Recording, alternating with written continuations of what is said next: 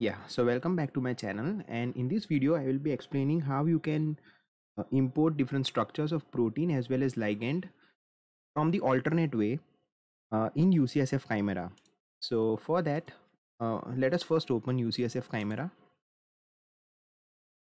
Okay, so when you open UCSF Chimera your window will look like this but when you want to change its view where you can see other options. You can just click on this small button which is in the blue color. So i am clicking it over here. Now uh, i will show you how you can import this structure which is 6cm4 from this pdb without downloading it onto your desktop okay? So for that what you need to do is you need to go to this button which says fetch. So i will click on this fetch. And here uh, there are multiple options or multiple databases from where you can import your structures. But now we are interested for this video to import the structure from PDB.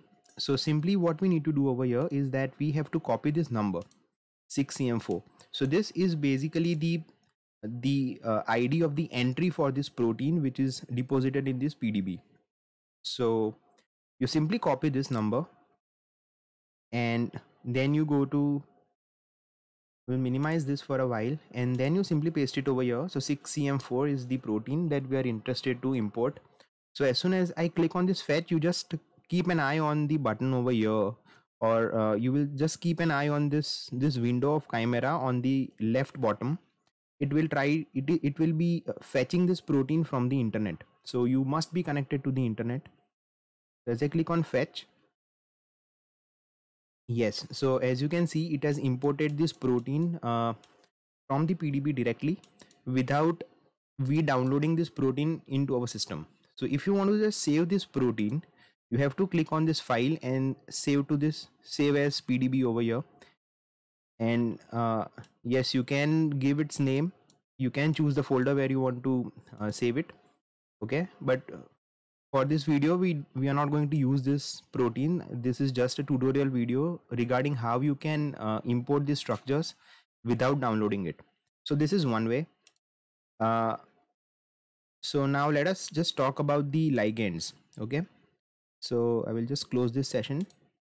Okay so whenever in the chimera you close the session whatever is there onto your screen will just disappear and you will be uh, on this blank new uh, window of UCSF Chimera.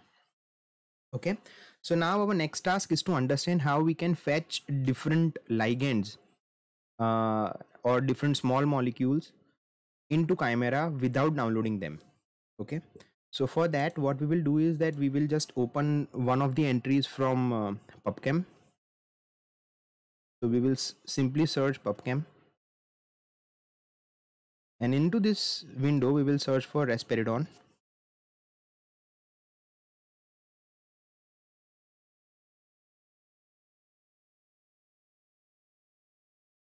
Okay?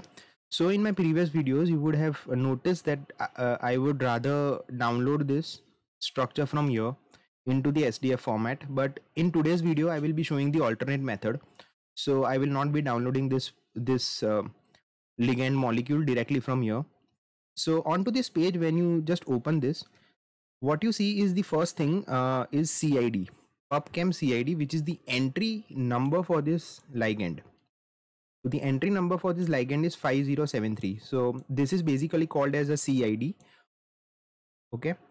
So now make sure that when you are downloading the uh, structure, it has to be CID and not SID. In certain cases for PubChem, there might be this number which is SID. So if the number is SID, this method will not work. So in Chimera, you open this Chimera and you just, uh, just for a second, we will copy the CID number. So we will just copy this minimize this window and then go back to chimera. And into this chimera we will go to this option which says tools. And from tools we will go to structure editing. And here there is an option which says build structure. So you click on it. Now when the new window of this build structure it comes onto your screen you just select the fourth option which says pubchem cid okay? So when you click on this pubchem cid you just paste the number which is the pubchem cid make sure that the number is correct otherwise you will be downloading the wrong or uh, fetching the wrong ligand. So 5073 5073 over here as well. And you just give three letter abbreviation for this. So i will just say res for risperidone and i will just press this button which says apply. So now it is showing that it is fetching the molecule and you as you see over here it has fetched this molecule. Okay so uh, this is the another way by which you can uh, fetch this molecule directly from web. You must be connected to the internet for this uh, and you see the structure. So you can save it into the desired format. It can be pdb it can be mol2 depending upon your choice and your need. So now we will close this session and i will show you the third way or uh, the another alternative way to download this molecule okay? So in this next method we will be making use of something which is called as smiles. So now uh, you scroll down onto this page and you just scroll down scroll down scroll down and till you reach this place which says smiles okay? So now what is this smiles? Smiles uh, as you can see